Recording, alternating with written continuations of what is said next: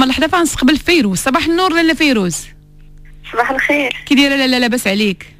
لاباس الحمد لله. وأنت أختي سناء لاباس عليك؟ الحمد لله لاباس عليا بالتواصل ديالي معكم شكرا. الله يخليك الله يبارك فيك يا فيروز. غتعطينا شي نصائح ياك؟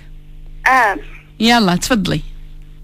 كاين واحد النصيحة بالنسبة للباب ديال الثلاجة اللي بغات السيدة إلا بغات الباب ديال الثلاجة يولي تاي الماء بنات واحد النصيحة.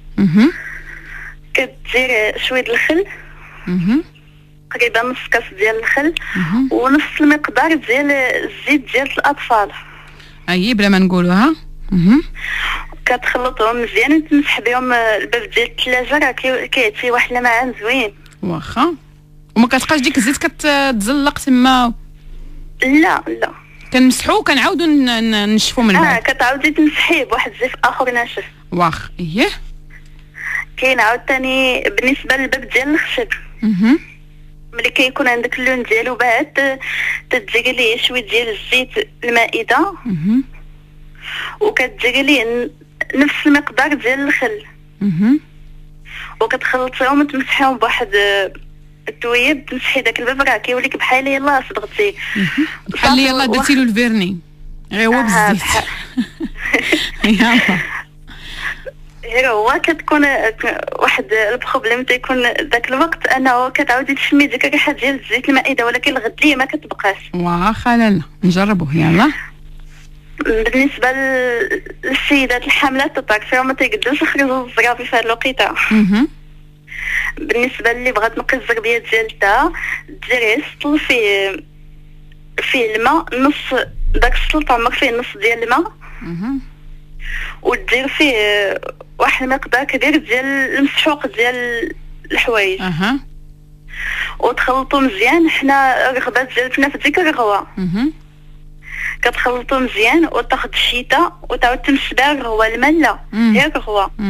وتمسح بها ديك الزربيات. بقى تمسح بها ديك الزربية فين ما ديك الرغوه بدات تطابط تعاود تخلطو وتمسح وتمس ديك الرغوه وتمسح بها الزربية. ومن بعد تاخد شي شيفون شيفون اولا فوطة وتمسح بها ديك الزربية.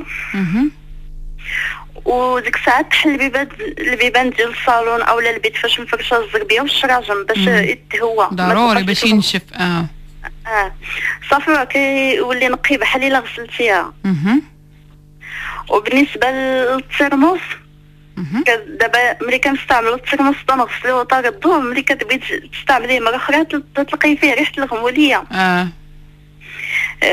كتجري داك الورق الورق النشاف كتشدي واحد الشيوط كلكميها وتلوحيها في داك الترموس وتسديه ملي تجبديه مرة أخرى. ما غاديش تلقاي ديك الريحة ديال ديك الغموليه حيت داك الورق النشاف تيشم كتمص آه. ديك الرطوبة. وبالنسبة اللي كطيب هذه آخر نصيحة اللوبيا على حسب اللوبيا. آه، كامل السيدات ملي يبغيو يطيبوا اللوبيا ياخذوها ويغليوها يغليوها في الماء مسبقا فهمتي؟ كيغليوها في الماء حتى تتحيد ديك الكشكوشة حيت ديك الكشكوشة هي بعد فتره تتعاود آه، تضرك فهمتي؟ حتى تتحيد ديك الكشكوشة وديك الساعة تطيبها على الطريقة ديالها. نعم. يعني بالنسبة للناس اللي كضرهم اللوبيا ما هي من الأحسن اللوبيا زعما كنصيحة انها كتبات في الماء كتغسل كتنقى كتغسل وتبات في الماء وتخلي هذاك الماء هو كتغطيها وداك الماء هو اللي كتعاودي طيبيها فيه لأن كيكون آه، كتكون صحية الناس اللي ما آه. عندهمش مشكل ديال لي غاز ما الناس طبعا اللي عندهم مشكل فيسلقوها وباش كتنقص ديك آه، لي غاز ما كيأثرش عليهم في الجسم ديالهم تبارك الله عليك آه، فيروز على هذه النصائح عطيتينا. عطيتينا ستة ديال النصائح أو خمسة. عطيتينا النصيحة الأولى ديال باب الثلاجه قلتي كنديروا نص كاس ديال الخل مع نص كاس ديال زيت الأطفال وكنمسحوا داك الباب عاود كنشفوه كي- كيخليه نقي ومزيان.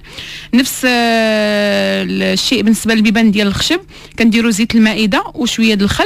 حتى هو كنمسحوا به ديك الباب كيسترجع اللمعان ديالو كيولي نقي.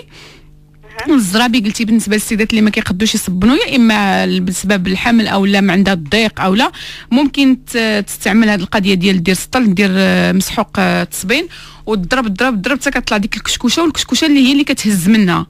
وكاين الناس هذه نصيحة أخرى كاين الناس اللي كيديروا هذه أنا أنا مجرباها غير الملحة. كنشد الملحة ومثلا تقدري ترميها بالليل par exemple على ديك الزربية وخليها كتعمري الزربية بالملحة. وفي الغد ليه كتشطبيها كتشطبيها كت يعني كتشيتي كتشيتي نيت الزربية ب- ب- ب- ب- بالجاد باش كيحيد كتحيد كاع ديك الخملة الفوقانية وإلا كان شي وسخ كيتحيد وكتحليه حتى هي السراجم. وكترجع الزربية نقية وكتحيد الغمال يعني مزيانة.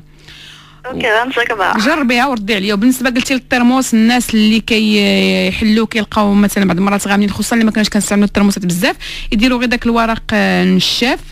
ياك. وقلتي آه. كيجر آه، كيجر آه، ديك الريحة ما كيخليهاش آه، تبقى. وعطيتينا آخر نصيحة ديال اللوبيا بالنسبة للناس اللي كضرهم يغليوها ويخويو داك الماء عاد يطيبوها آه. تبارك الله عليك آه، فيروز على هذه النصائح. شكرا لك واحد التحية عافاك واخا فيروز يلا نختموا بها. تحية لجميع الطاقم ديال الإذاعة الوطنية وجنود الخفاء. مرحبا. وتحية وتحية للناس تارودانت كل يوم شكرا لك آه، فيروز.